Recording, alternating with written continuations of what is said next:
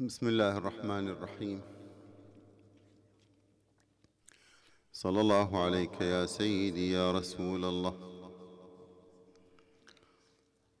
صلى الله عليك وعلى آلك الطيبين الطاهرين يا رحمة الله الواسعة. ويا باب نجاة الأمة ما خاب من تمسك بكم وأمن من لجأ إليكم. يا ليتنا كنا معكم سادتي فنفوز فوزا عظيما. ومن كلام مولانا ابي عبد الله الحسين عليه السلام ألا ترون إلى الحق لا يعمل به وإلى الباطل لا يتناهى عنه. ليرغب المؤمن في لقاء ربه محقا. هذه الفقرة من كلام الإمام الحسين سلام الله عليه ضمن ما بين به أسباب حركته المباركة في توعية هذه الأمة.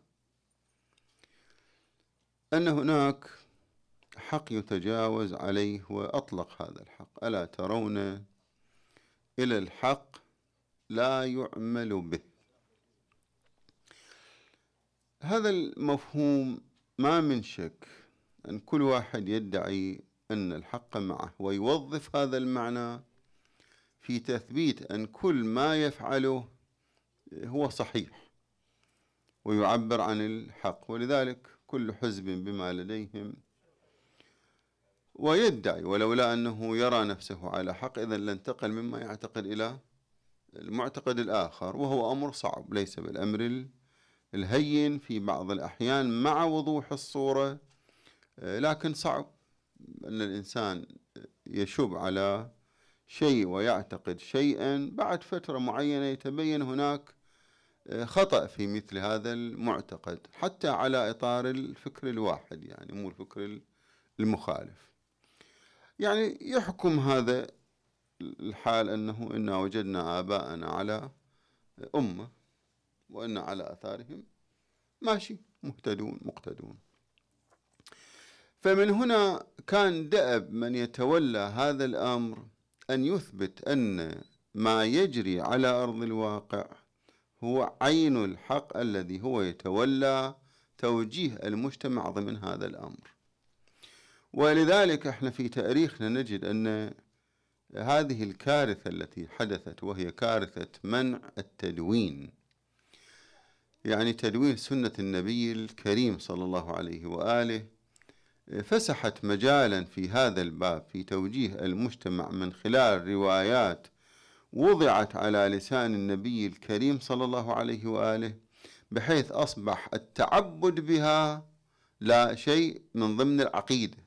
والذي يخالف التعبد بهذه الروايات يعني أنه الخروج عن الدين كله. ومن هنا أمير المؤمنين سلام الله عليه في كلام له وكل كلامهم رائع. يبين أساس المطلب أين يكون. يقول إنما بدء وقوع الفتن أحكام تبتدع على غير كتاب الله. أحكام تبتدع وأهواء تتبع يخالف فيها كتاب الله ويتولى عليها رجال رجالا مو على كتاب الله على هذه الأحكام المبتدعة وعلى هذه الأهواء المتبعة. رجال يتولون رجال مو على أساس الضابط الشرعي. ثم يبين أمير المؤمنين زين هالحالة ليش تصير؟ أن المجتمع المفروض أن يعرف أن هذا خطأ وأن هذه فتنة وأن هذا باطل. فلماذا يتبع هذا الذي يملى عليه؟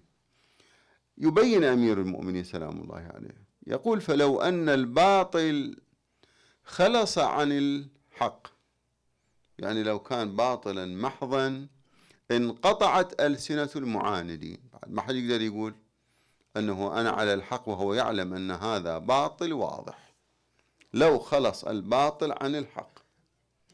ولو أن الحق خلص عن الباطل لم يخفى على ذي حجة.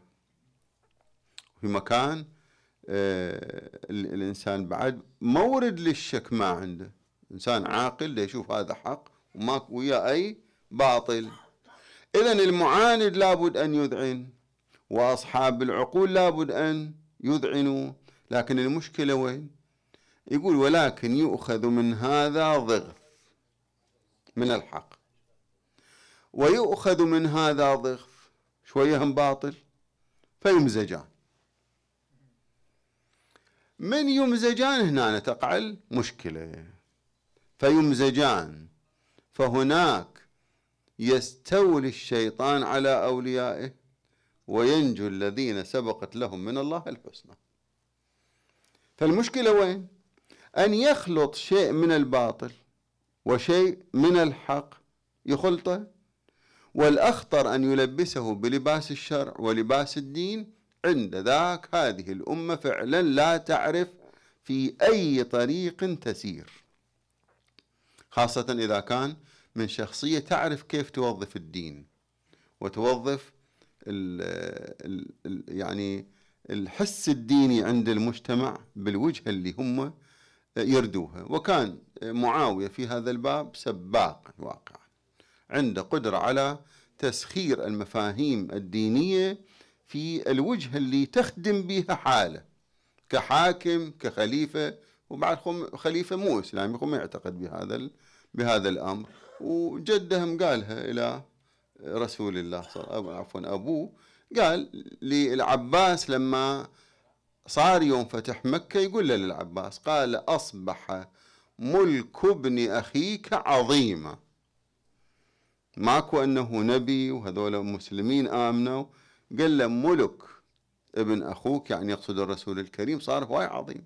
هاي النظرة الموجودة وهو يكررها في زمن عثمان. حينما قال تلقفوها يا بني أمية فوالذي يحلف به أبو, أبو سفيان ما أدري ما جنة ولا نار. قضية هذا ملك إحنا هيئنا الأمر بحيث صبياننا يتناقلوا واحد بعد الآخر وهذا الذي حدث. هسه واحد يقول تأريخ إحنا تأريخ ما نريد نعيشه. لكن مشكلة التأريخ اللي عاش المسلمون إلى يومك هذا يدفعون ثمنه. كل الذي يجري نتيجة ذلك التأريخ وإحنا لما نذكر التأريخ نحاول أن نأخذ عبرة لا نقع في نفس المطب. رغم ذلك نعرف الأوضاع تماما والتأريخ تماما ونكرر نفس نفس الأخطاء. هاي مثل الشاب بالضبط. هذا الشاب إذا أبوه قال له لا تسوي هالقضية أنا ترى مار بهالتجربة هاي. نتيجتها مو زينة.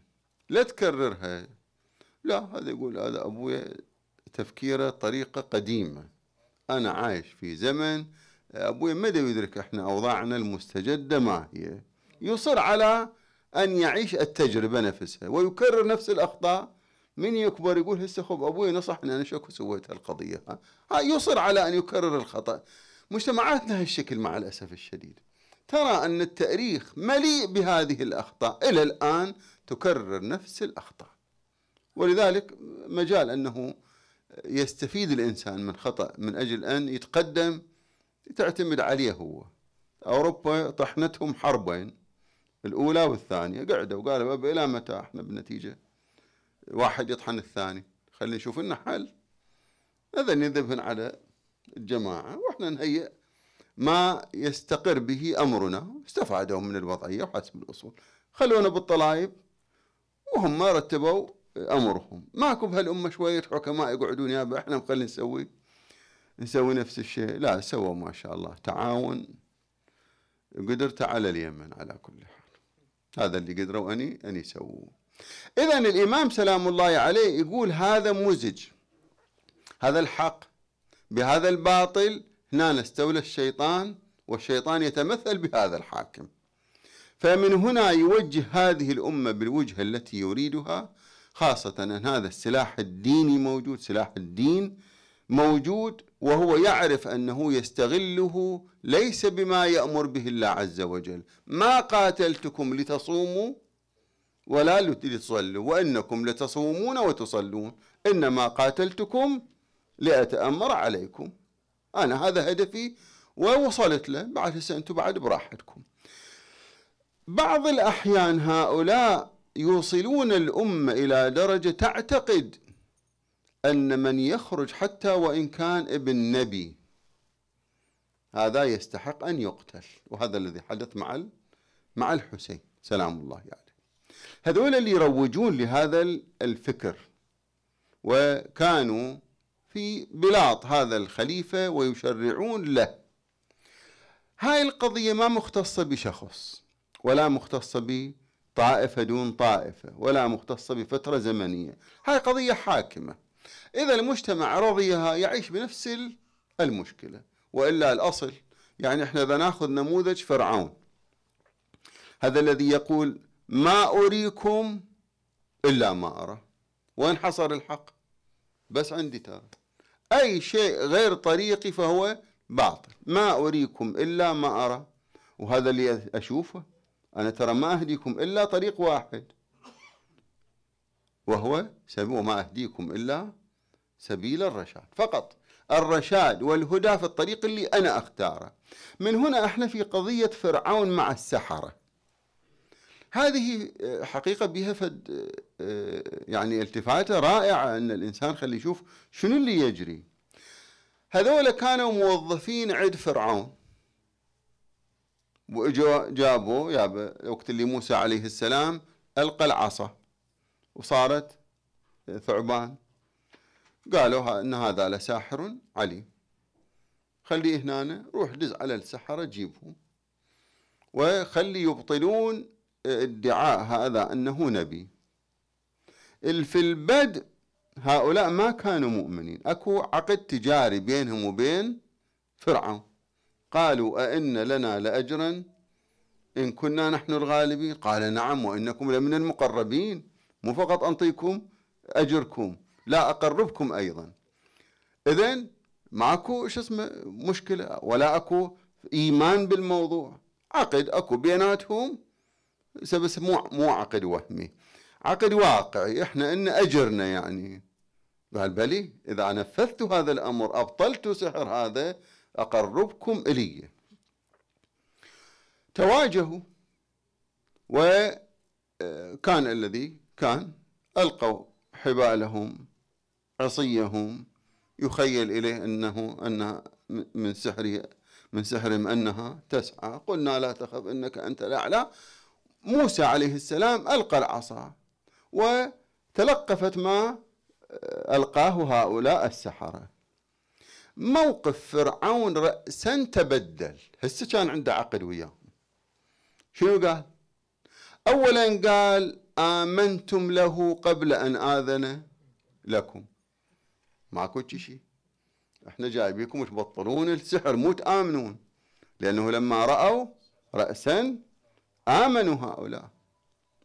هاي وحدة.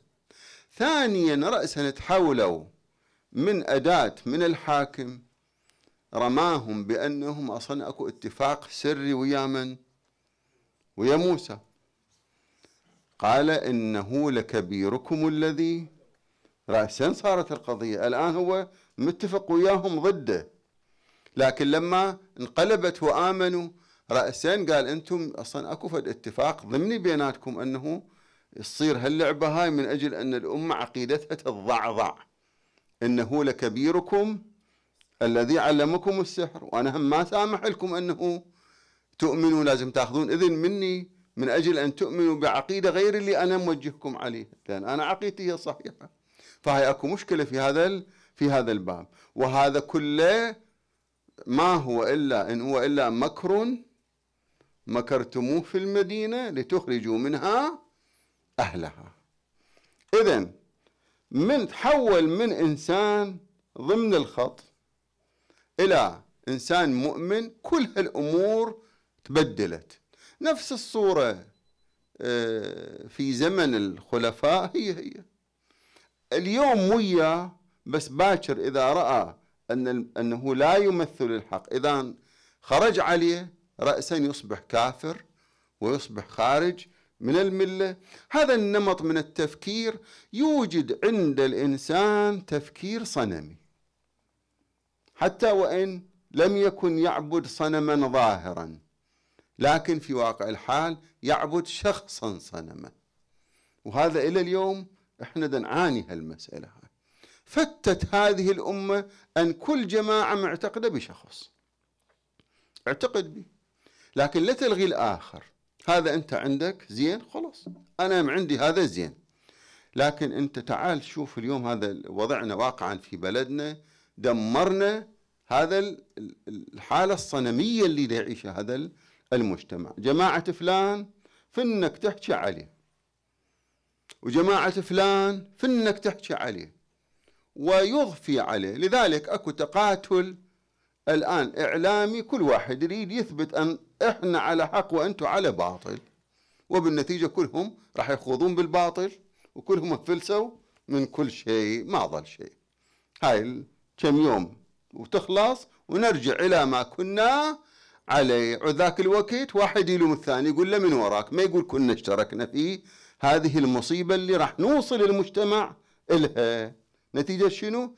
هذا التفكير الصنمي. أخطاء افرضوا فلان من الناس يعني أخطاء مثل عين الشمس ما تحتاج إلى تبرير. فالتفاني في التبرير وأنه هذا ما ممكن يبدر منه. يابا هو ده يقول أنا ما أصلح ومصر على البقاء. رغم ذلك لا هذا لازم أن يكون هو الشخص الأمثل. هذا هم يقول الشخص الأمثل هذا هم يقول الشخص الأمثل. وين توصل الأمة؟ خلي بيناتها شوية شوية. إلى تصل إلى مرحلة هي تأكل نفسها بنفسها وخلي العدو مرتاح من هذه القضية تماما. لذلك يوجه المجتمع إلى هذا النمط من التفكير بحيث كل واحد يخرج عن هذا الإطار لا يمكن أن يكون على الطريق الصحيح. لذلك الإمام لما يقول ألا ترون, إلى الحق لا يعمل به. أي حق هذا؟ هذا الحق الواقع؟ أم هناك حق آخر يدعو إليه الإمام الحسين سلام الله عليه؟ ما من شك أنه حق مختلف عن هذا الذي يعيشه المجتمع. المجتمع يعيش حالة باطل شبه له. لهذا المجتمع أنه يعيش حالة حق وأنها تمثل الإسلام. من هنا يتقبل كل شيء يلقى إليه. يعني يجي الأمر أول مرة. انظروا شيعة من كان من شيعة أبي تراب إذا قامت عليه البينة اهدموا داره وإقطعوا عطاءه. إذا قامت عليه البينة. خب هذا يفسح مجال. أنه واحد يدبر في القضية يثبت على هذا أنه يا ترى هذا من شيعة آه، أبي تراب النتيجة أنه ينتهي وضع الاقتصادي ينتهي. هم راتب ما عنده وهم بيت ما عنده. شلون يستقر مثل هذا؟ ضغط مو طبيعي يكون عليه من أجل أنه ينحرف أو لا ينحرف حسب عقيدته. ثم تطور ما اكتفى بهذا. يسن قانون يخالف الشرع ويتقبل. خذوهم على الظنة والتهمة. ما يريد بينة بعد. الرسول الكريم صلى الله عليه وآله يقول ادفعوا الحدود بالشبهات. حد. إذا يوشك أن يثبت على أحد. وكان هناك شبهة تدفع هذا الحد. يقول تمسكوا بالشبهة. من أجل دفع الحد إحنا مو جايين الأصل أنه نقيم حدود. إحنا نريد أن نبني إنسانا. يقول ادفعوا الحدود بالشبهات. هذا يقول لا. إذا صار عندكم شك أنه هذا من شيعة أبي تراب اهدموا داره واقطعوا عطاءه زين. قضية مخالفة للشرع. أكو واحد يخالف بها أبدا. هذا بعد قال الخليفة والخليفة لا يمكن أن يخالف بشيء أبدا. اليوم خذ نسمع إحنا بعد بالنتيجة. هذا النفس إلى الآن موجود. يقول وإن شرب الخمر في الحج. ما يجوز لك أن تخرج عليه لأنه هذا ولي الأمر هذا النمط العجيب من التفكير وليد ذلك اليوم. لذلك يقول على الظن كافي. شبهة. إذا توصل لها المرحلة إذا من يستلحق زياد المسألة تصير بعد سهلة.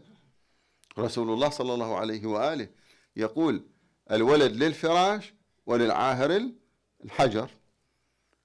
أكو قضية سياسية استوجبت أن يستلحق زياد. زين زياد المسلمين كلهم يعني يعيبون عليه هذه القضية. بس يقولون خالف الشرع بها لا يا هذا فالشيء يعني مو زين بس سواه وله أجر بذلك. وتمام خالف بس مأجور. الناس تتقبل أو ما تتقبل؟ طبعا تتقبل لأنه الخليفة هو اللي قال يمر موكب زياد على أبي العريان. أبو العريان كان أعمى. فمر سمع فجلبه قال شكو. قالوا موكب الوالي أو الأمير زياد ابن أبي سفيان. هذا تعجب.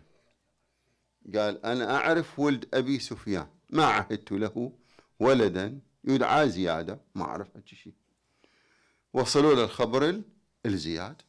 هذا ما بالليل هم دز فد 200 دينار. قالوا له هاي من طرف الأمير. ثاني يوم مر الموكب وصل يمه التفت له زياد قال كيف أنت يا أبا العريان؟ بكى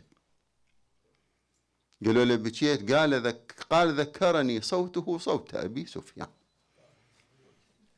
200 درهم.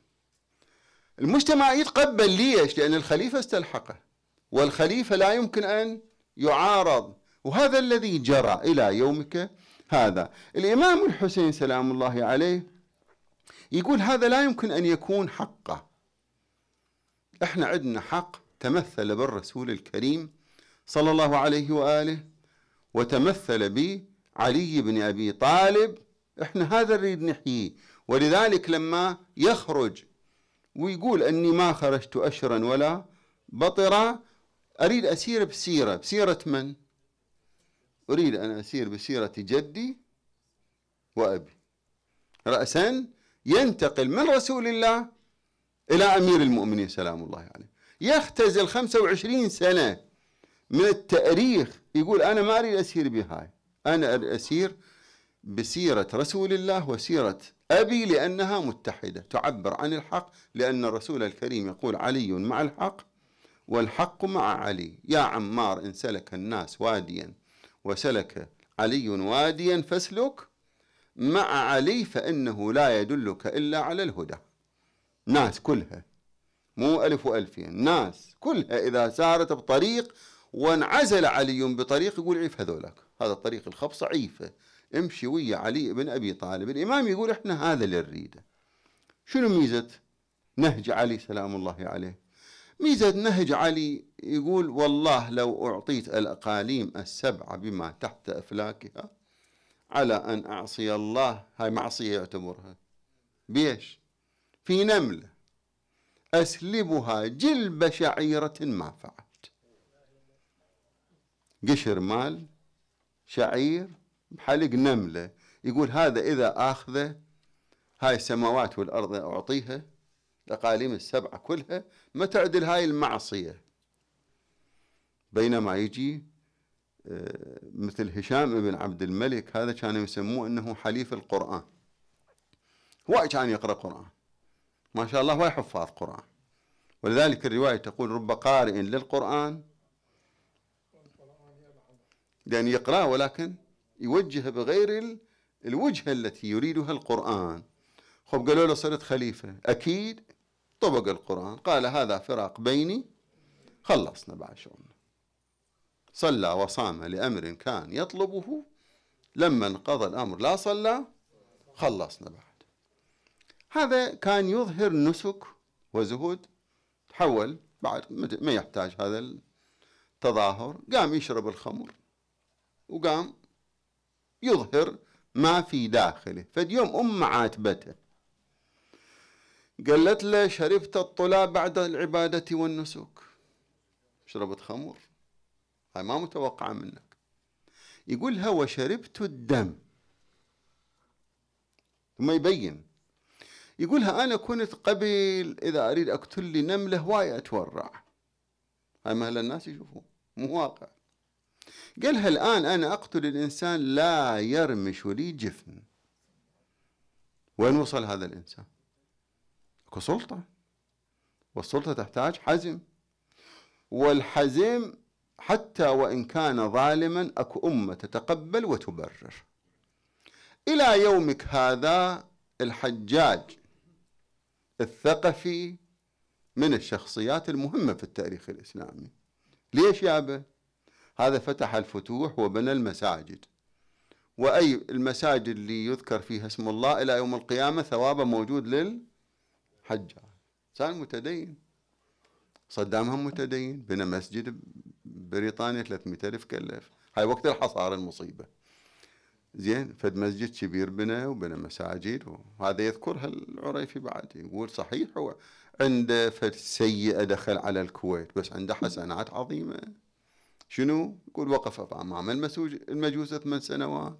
بعدين تاب بنى مساجد وقام يطبع قرآن خلصت المسألة راحت. ذولاك مو مشكلة. خلصت المسألة. يبرر له مثل هذا الفعل. الأمة تتقبل أن هذا فعلا شوفوا إحنا الإنسان يمر بمرحلة ينتقد فعلا لكن قد يمر بظرف آخر يكرر هذا الفعل. هذا شأن المعارضة والحاكم. دائما هالقضية موجودة. يزيد عليه لعائن الله ثلاث سنين حكم. كل سنة هم سوى جريمة. وحدة منهن رمى الكعبة بالمنجنيق هاي وحدة من القضايا. مروان بن الحكم آه، غضب قال له هذا حرم آمن كيف يمكن أن تتجرأ وترمي الكعبة؟ قبلك ماكو واحد مسويها. نقم على يزيد فعل أنه يرمي الكعبة بالمنجنيق صار مروان هو الخليفة. عبد الله بن الزبير وين احتمى هم بالمسجد الحرام. رمى الكعبة بالمنجنيق قال له يابا مو أنت نقمت؟ قال شو أسوي؟ توحيد الأمة لازم نسوي. وتوحيد الأمة لا يتم إلا عن القضاء على ابن الزبير. ابن الزبير هم بالكعبة خوش أسوي. نهدمها وبعدين نبنيها مو فد قضيه ها. نفسه هو اللي اعترض نفس القضية سواها. هاي عادة هالشكل. المعارضة هم تعترض. هذا الحاكم جايب قرايبه وجايب معارفه وحبايبه بالحكوم ودا يوزع الفلوس عليهم والشعب كله فقير ومحروم. صاروا سبحان الله. هاي مو هاي معارضتنا كل المعارضات هالشكل يصيرون وين؟ بالحكم. المن يجيبون؟ يجيبون الكفوئين؟ هماتين. هذا جاب ربعه وهذا جاب يابا. يقول بمن أثق؟ وذاك هم كان يقول بمن أثق؟ أنا أثق بهذولا. شنو الفرق إذا؟ شنو اللي يتبدل؟ لذلك الإمام يقول أكو حق هذا الحق يقول أن اللي عنده الكفاءة يجي. الإمام سلام الله عليه ما كان ينظر إلى هذا ابن من. وهذا شنو؟ شهادته العلمية. وهذا شنو؟ مسوي من منجزات. هذا عنده قدرة أن يدير أو لا لأن في بعض الأحيان عندنا واحد حاصل على افرض دكتوراه بس ما عنده قدرة إدارية. وواحد إنسان عنده بكالوريوس لكنه في الإدارة وايد جيد. ماكو فد مناسبه أجيب الدكتور يا لأنه أنت دكتور وأترك هذا اللي يقدر أن يدير. لا أجيب هذا اللي يدير. أمير المؤمنين ما عنده شغلة ويا هذا. من يكون؟ جيب عثمان بن حنيف جيب أمثال ابن عباس هذول اللي يعتمد عليهم علما واداء يقدر انه أنه يدير. الإمام يقول أنا أريد هذا اللي أحققه لهذه الأمة. هذا الحق إذا عمل به والباطل تنوهي عنه عند ذاك تنهض هذه الأمة ترجع إلى مجدها. من يغير؟ يقول أنا أحق من يغير هذا الأمر. أنا أحق واحد بمثل هذا التغيير لأن أنا أحمل الرسالة على واقعها. أنا أعرف أن هذا الدين لا يتم إلا بمن تلبس بهذا الدين تماما بمن لا يجعل لكل حركة إلا وجه الله سبحانه وتعالى.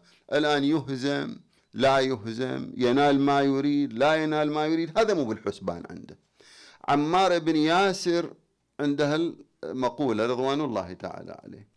يقول لرسول الله صلى الله عليه وآله يقول له لو هزمونا أو لو لو لو هزمناهم حتى بلغنا بهم سعفات هجر. لعلمت أني على الحق أو أن على الحق وهم على الباطل ما عندي شك. ولو هزمونا حتى بلغوا بنا البحر لعلمت أن على حق وأنهم ما يهمني أنه أنا أهزم في هذه الحرب أربح في هذه الحرب. هذا بأصل العقيدة ما له علاقة. أنا مطمئن من عقيدتي. الإمام يقول إذا أكو أحد أحق بمثل هذا التغيير هو أنا. لأني أعلم أن سأنهض بهذه الأمة إن رضيت أن تنهض. وأن الله لا يغير ما بقوم حتى يغيروا ما بأنفسهم. أنا من أريد أغير أقدر إن استجابت. سبعض يقول إمام ويريد أنه دنيا وهذا الكلام اللي دائما يشكل أنه الحسين ثار من أجل أن يكون حاكما أن يكون خليفة. إذا كان تحقيق ال هذا طبعا ليس في حسبان الحسين ولا هو صرح من البداية آه، كأني بأوصالي تقطعها. وقال خير لي مصرع أنا لاقيه المسألة خلصانة. ولكن على الفرض ليكن افرض أن الإمام يريد هذه الدنيا. المن يريد الدنيا للدنيا لو يريد أن يقيم بها الحق. وقالها أمير المؤمنين. وذكرنا هذا النص البارحة حينما يقول اللهم إنك تعلم أنه لم يكن الذي كان منا منافسة في سلطان ولا التماس شيء من الحطام. ولكن لنرد المعالم من دينك وتقام المعطلة من حدودك ويأمن المظلومون من عبادك. وإذا كان هذا يتحقق بالسلطة خليكم فبها لكن إذا ما تحقق مو معنى أن الإمام سلام الله عليه ممكن أن يزل يمينا وشمالا. حاشا. فمن هنا دعا هذه الأمة أنه يا ترى أنا ساير هذا المسير. أنتم إذا استمريتوا على هذا المنوال اطمئنوا راح تصلون إلى مرحلة لا تحسدون عليها. وبعضهم عبد الله بن مطيع لما الإمام يريد يغادر المدينة يمسك بركابه. لاحظ تعبير ابن مطيع مشخص الحالة بس ما يتحرك. يقول له يا أبا عبد الله لئن قتلت لنسترقن بعدك. إحنا الآن محتمين بوجود اسم الحسين. الآن إحنا نقول ما ممكن أن يتجرأ الحاكم اللي يدعي أنه يقيم الحق أن يتجرأ على قتل شخص مثل الحسين ابن بنت رسول الله. إذا تجرأ بعد ماكو شيء إلى حرمة أمامه. لئن قتلت لنسترقن بعدك. وهذا الذي حدث. وأنت رضيت بأن تسترق. الإمام دعاك. ألا؟ وأني خارج بهذه القلة. الموجودين وياي طلع. وياه من أهل بيته والأصحاب اللي كانوا معه بما يقرب سبعين نفر. طبعا التحق بهم بعض الأعراب في الطريق لكن لما شافوا فعلا الحديدة مو مال حكوم والإمام دائما يصرح ترى إحنا رايحين إلى قتل. انفضوا. وصل إلى كربلاء بحدود 70 واحد 72 واحد هذول الذين الذين تعاقدوا على الموت. ولحق بعضهم من الكوفة أمثال حبيب والبجلي وغيره تكاملوا في كربلاء بمثل هذا العدد وذكرنا أنه إذا أضفنا اللي إجوا قد يصلون إلى 140 آه، شهيد في واقعة كربلاء. هالمقدار. دعاهم ماكو فايدة. يابا أنا إلكم جاي. حتى ذول اللي قاتلوه قال يابا أنا آه، جاي دا أقاتل, دا أقاتل من أجلكم أنتم هاي أكو نار إحنا احتطبناها على عدونا وعدوكم. شنو اللي صار صرتوا إلب علينا؟ شو تبدل؟ إحنا كنا نريد أن نقيم الحق. إيش عجب صرتوا؟ فد أداة بيد إنسان ما له علاقة لا بدين ولا بحق أبدا أبدا. ولا تتصورون أنه أنتم من تقاتلون راح تنالون مثل هذا الذي تحلمون به. لا حتى العمر بن سعد. قال له أنت تحلم بأن تنال الري كأني برأسك تتلاقفه. مؤدى كلامه الشريف صبيان الكوفة. هذا رأسك تدحرج بين أرجل صبيان الكوفة. التعب ما يفيد وياه.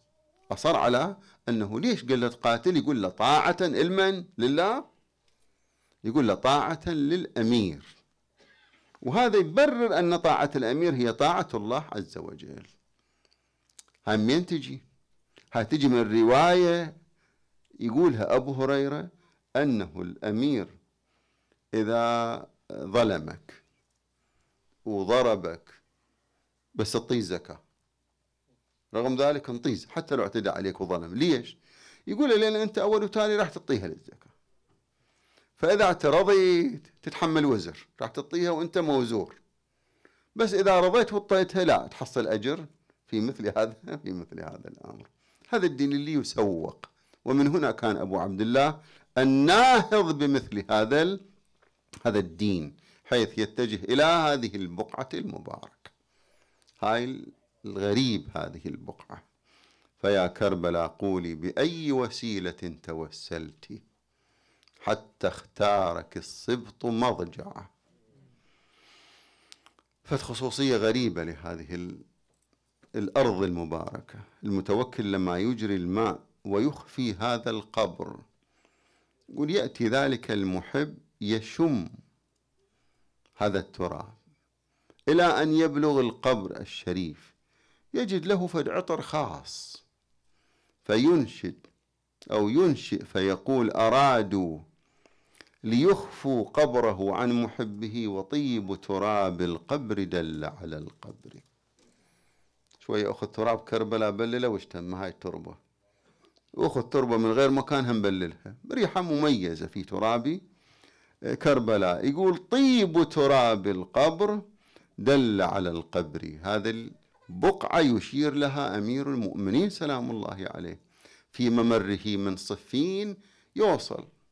إلى هذه البقعة المباركة يقول لمن خلفه ها هنا مناخ ركابهم ومهراق دمائهم فتية من آل محمد يدخلون الجنة بغير حساب. ثم اللهم صل على ثم يقول صبرا ثم يقول صبرا أبا عبد الله. إلك شأن مع هذه الأرض. صبرا أبا عبد الله هذه التربة يوم يولد أبو عبد الله الحسين يأتي جبرائيل إلى رسول الله يقول له يقول له تحبه؟ يقول له إيه؟ قال إن أمتك ستقتله. تحب أرابيك التربة اللي يقتل فيها؟ يقول أخذ قبضة من ذلك التراب وأتى به إلى رسول الله صلى الله عليه وآله اغرورقت عيناه بالدموع ثم دفعه إلى أم سلمة. يقول وضعته في قارورة. قالها هذا إذا انقلب دما عبيطا فاعلمي أن الحسين قد قتل. ذلك يقول لما خرج من المدينة كنت أراقب القضية هاي. أنه شنو اللي يجري على أبي عبد الله الحسين؟ أبو عبد الله مدينة رسول الله. الوحي الذي نزل في هذه المدينة والحاج لما يذهب من جملة ما يتأمل سير أبي عبد الله في كل هذه الزوايا المحيطة في المسجد يصل الأمر أنه يدعى أبو عبد الله لأن يبايع يزيد. قال تصبح ويصبحون. أنا بيعتي في السر لا تغني. يعني بالعلن إذا تردون أبايع بالعلن أبايع مو هالشكل. نصبح وتصبحون. رجع الرسول إلى الوالي مروان ابن الحكم قال له ابعث له الساعة. فلئن أفلت لن تظفر به أبدا. هاي الآن فرصة. هذا إذا يقول الباكر ويجتمعون بني هاشم بعد ما ترهم القضية؟ الآن الآن. تريد تقتله؟ الآن. بايع وإلا تقتل. عمر بن سعيد لاحظ عنده كلمة هذا أموي ولكن عنده كلمة عاقلة. يقول له إن رجلا يلاقي الله بدم الحسين لخفيف الميزان. تدري أقتل الحسين من أجل أن أنفذ أمر يزيد صدق أنت هالقضية هاي. لذلك لما يبعث إلى أبي عبد الله الحسين سلام الله عليه ويصر على أن آه، يبايع مروان يقول هالكلام يلتفت له يقول من الذي يقتلني أنت أم هو؟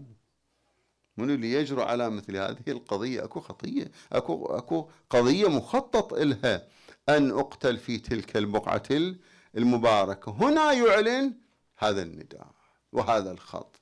يقول له أيها الأمير إن يزيد رجل شارب الخمور راكب الفجور قاتل النفس المحترمة ومثلي لا يبايع مثله. علم أن الحسين غير مبايع. وأنه عازم على أن يغادر إلى العراق. لذلك يتهيأ للسفر يزور قبر جده رسول الله صلى الله عليه وآله ليودع ذاك القبر. قال السلام عليك يا رسول الله. أنا فرخك وابن فرختك أنا الحسين بن فاطمة. إن أمتك أزعجوني.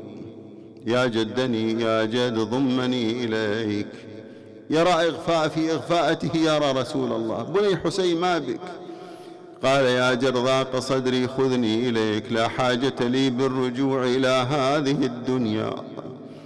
قال بني حسين إن لك منزل لن تبلغها إلا بالشهادة. مصرعك في كربلاء.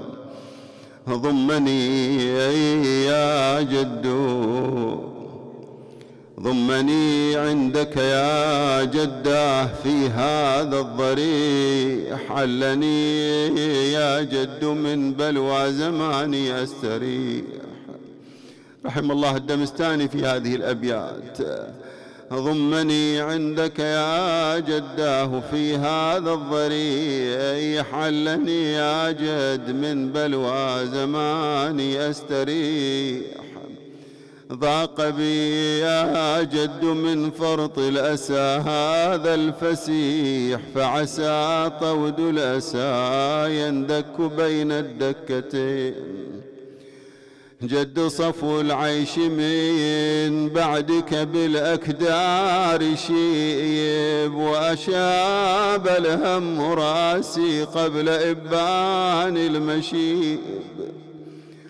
فعلى من داخل القبر بكاء ونحيب ونداء وصراخ يا حبيب يا حسين. ستذوق الموت ظلما ضاميا في كربلاء. وستبقى في ثراها عافرا منجدلا وكأني بلئيم الأصل شمر قد علايا صدرك الطاهر بالسيف يحز الودجين لما بلغ الإمام إلى كربلاء كلما أراد أن يتحرك توقف هذا الفرس سأل عن المكان. قيل إنه نينوى. قال هل من اسم آخر؟ قيل إنه كربلاء. قال اللهم إني أعوذ بك من الكرب والبلاء. لو تشوفوني يا شيع على التراب طايح جريح خدمت والستراب والنحر دم يسيح كم عضيد وكم ولد قبل قضى لي ذبي هذا مرمي على التراياب وهذا أحمل جثته. آه يا شيعتي واللي دم ظهري وكسر مني القوى. وحدتي من ضاح يم النهاية أرحم مال اللوايا. وصلت يم لقيت دمومه وتربه سوى والدموع والجفوف مقطعة تذوب الجبد من شوفته ومصائب الأيام. نسألك اللهم وندعوك باسمك العظيم الأعظم العز الأجل الأكرم يا الله.